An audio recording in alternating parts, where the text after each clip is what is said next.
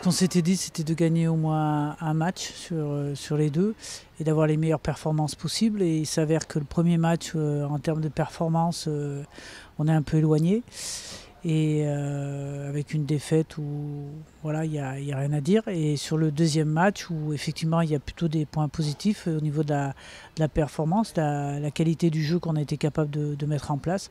Après c'est la constance. Voilà. Un match ça se joue de la première à la dernière minute.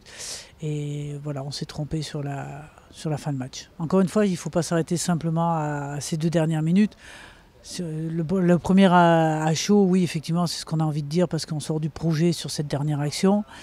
Mais, mais après, c'est peut-être parce qu'on n'a pas fait le travail nécessaire avant pour se mettre à, à l'abri de ça.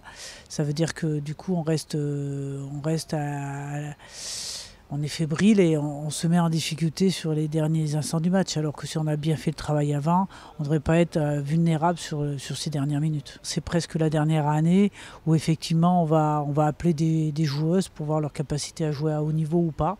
Parce que je crois que d'ici la fin du tournoi, il faudrait être capable de, sortir un, groupe pour préparer la, Coupe du Monde. Donc euh, voilà, on essaye encore des choses, on teste encore des choses. Comme je le dis tout à l'heure, on, on, apprend, je crois, à chaque sortie. Il faut surtout pas hésiter à se remettre en question. Et puis à voilà, la fin du tournoi, on aura une analyse euh, un peu plus globale par rapport aux joueuses qu'on qu va préparer pour cette Coupe du Monde. Bien sûr que sur le tournoi, il y a quelques, quelques filles qui vont être appelées qu'on n'a pas encore vues là. Mais, euh, mais on a quand même une grosse ossature qui ne va pas changer.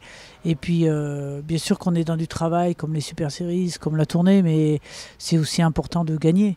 L'équipe de France doit gagner. Et, euh, et l'idée, c'est de se projeter et de faire un très bon tournoi et de l'emporter. Bien évidemment que voilà, là, ça fait deux fois qu'on joue les Anglaises, deux fois qu'on qu perd. Euh, la troisième fois, il faut qu'elle soit pour nous, ça c'est sûr. Comme toute équipe, il y a besoin de, confiance. Et même si euh, la performance, on s'arrête à la 79e, la performance est, réussie, j'ai envie de dire. Mais en même temps, euh, ce qui valide, c'est la victoire. Et dès l'instant qu'il n'y a pas la victoire, c'est compliqué. Donc il faut que sur le prochain match, le 2 février, voilà, on aura un stage préparatoire avant, il faut qu'on emporte ce match.